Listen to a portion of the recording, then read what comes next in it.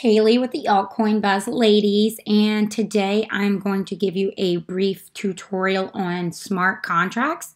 For all of you crypto newbies, you've probably heard this term um, and may not be fully familiar with it. So I'm going to go over today what smart contracts are and how they are applicable to crypto cryptocurrency.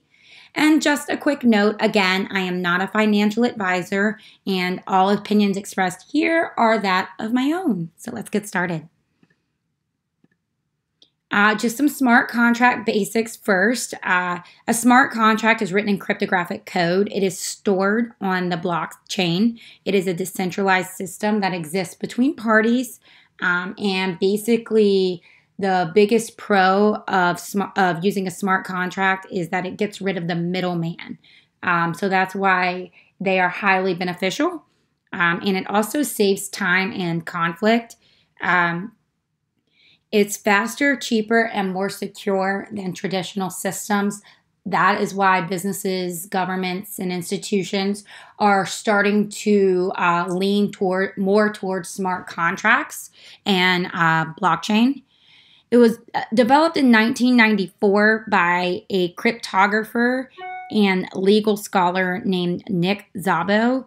Um, he realized that the decentralized ledger could be used for smart contracts um, or self executing contracts.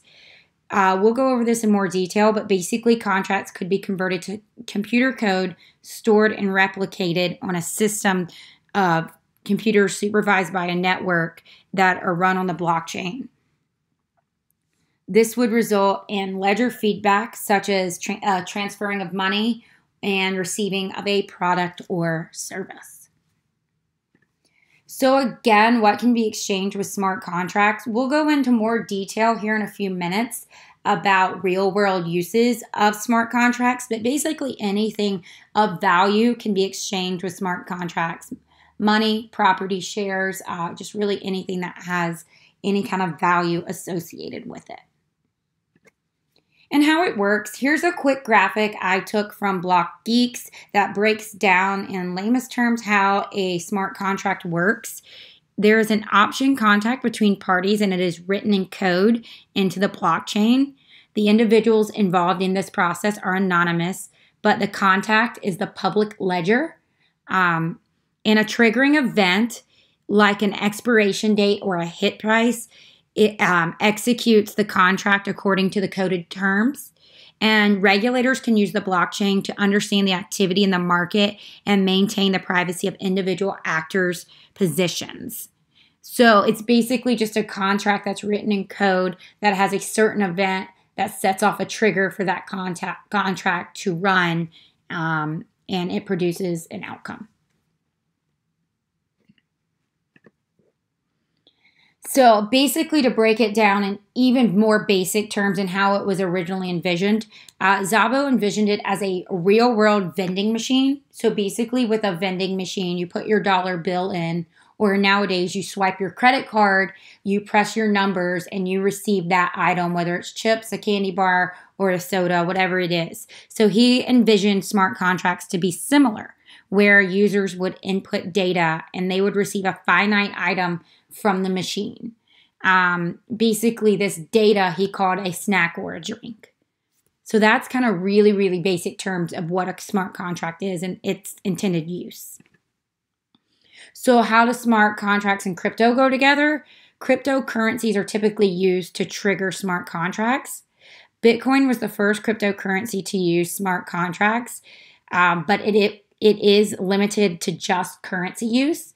Ethereum saw this and um, allowed developers to program their own smart contracts or aut- autonomous agents. So Ethereum took the the Bitcoin's at first intended use a little bit further, and now allows developers to uh, to develop programs that utilize smart contracts. And just a couple real world uses of smart contracts. Uh, logistics is one. Um, we do so much today with shipping and receiving of items and fulfilling of items um, via e commerce that the logistics aspect has become very important. It allows for more transparency. location data is basically written into the smart contracts. So it allows for better tracking across multiple platforms. Um, and then another one is insurance. Uh, again, we rely so heavily on insurance, whether it's homeowners, healthcare, automobile, and anything in between. It allows for cl- faster claims processing. Um, basically, insured events cause input conditions for smart contracts to be changed accordingly, and claims will be processed once the trigger is fired. So basically, if there is something um, like a major event, like an earthquake, it would automatically be inputted in the magnitude of the earthquake would be inputted into the system, and uh, that would be the trigger that fires the claims processing. So it's a lot faster and a lot more efficient.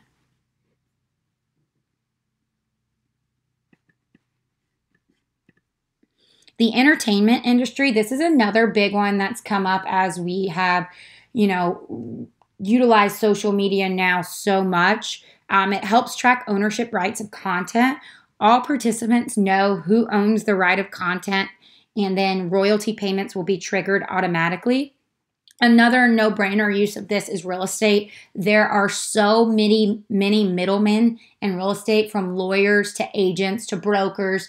Um, real estate is just a complicated process full, filled with many middlemen. So this makes it simplifies the process and hopes to get rid of a lot of these middlemen.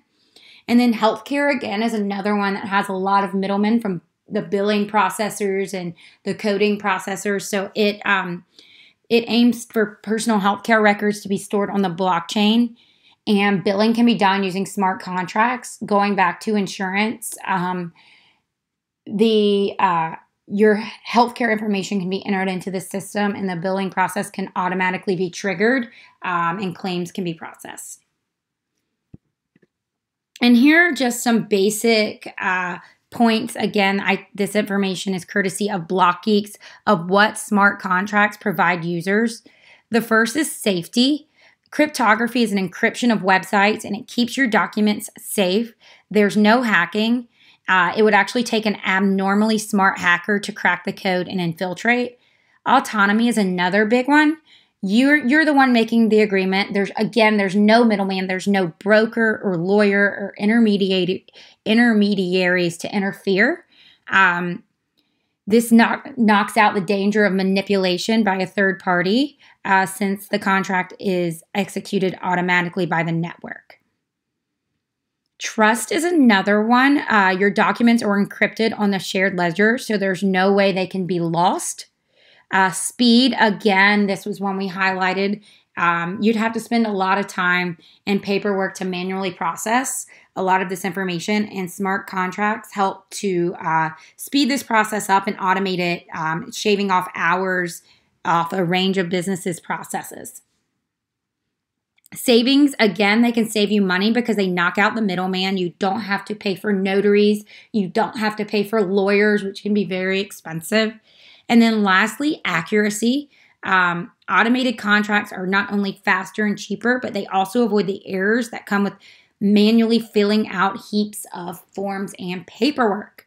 So, that is just a very basic rundown of smart contracts and their use in the crypto world. I want to thank you so much for joining me today. I also want to invite you to follow the Altcoin Buzz Ladies on YouTube and subscribe to our podcast channel. We hope to deliver you good educational uh, content. Uh, so stay tuned and subscribe. And again, thanks again for joining me and stay tuned for my next presentation.